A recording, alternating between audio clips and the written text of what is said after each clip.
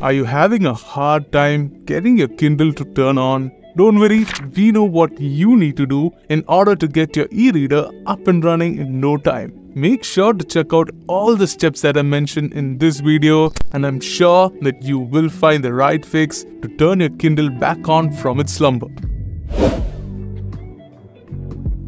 All Kindles are battery powered and even if they stay powered on for weeks, they do require occasional charging to sustain the battery. So if you have trouble getting your Kindle to turn on, make sure that it's fully charged first. On newer Kindle models, a battery low indicator with a battery and a plug-in sign appears on the screen once it's low on power. A battery caution indicator can also arise from dead batteries and it can also indicate various other issues. Nonetheless, plug in your Kindle to charge for a whole day before turning it on. Charging it overnight should also suffice. If you still can't get the battery to charge, check if the power supply and the cables are in good condition. Wear and tear, rust, and bends can all mess up the power supply. If you find any such issues with the cable, immediately replace it with a new one, preferably from a reputed brand. You should also take a look at the power outlet for any power related issues. Check if the outlet is outputting optimal voltage to power connected devices. If you notice any red flags, switch to a different power outlet and try charging your Kindle.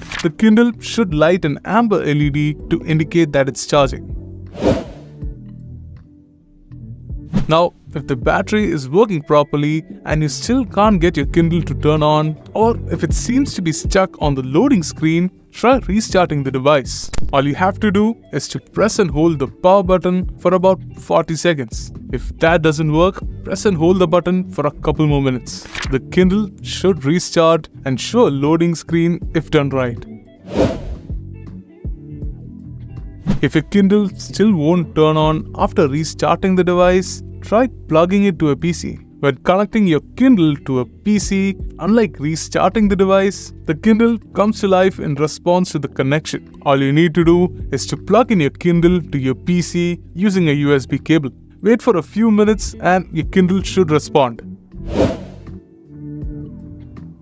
Now, if you can't get your Kindle to turn on even after following all the steps that I mentioned so far, chances are that the battery of your Kindle might be dead. You will have to get it checked and replaced. You can perform a battery reset on your own, but doing it is a difficult task. Instead, I recommend that you contact Amazon and get your battery replaced, especially if it's still under warranty. Just be wary that this is an issue that's common across all Kindle devices, especially ones that have been sitting with little to no battery for a long time. And with that, I believe that I've touched on everything I wanted to talk about on fixing your Kindle that's not turning on. If you found this video useful, do comment your thoughts below, give us a thumbs up and subscribe to our channel for more Kindle content.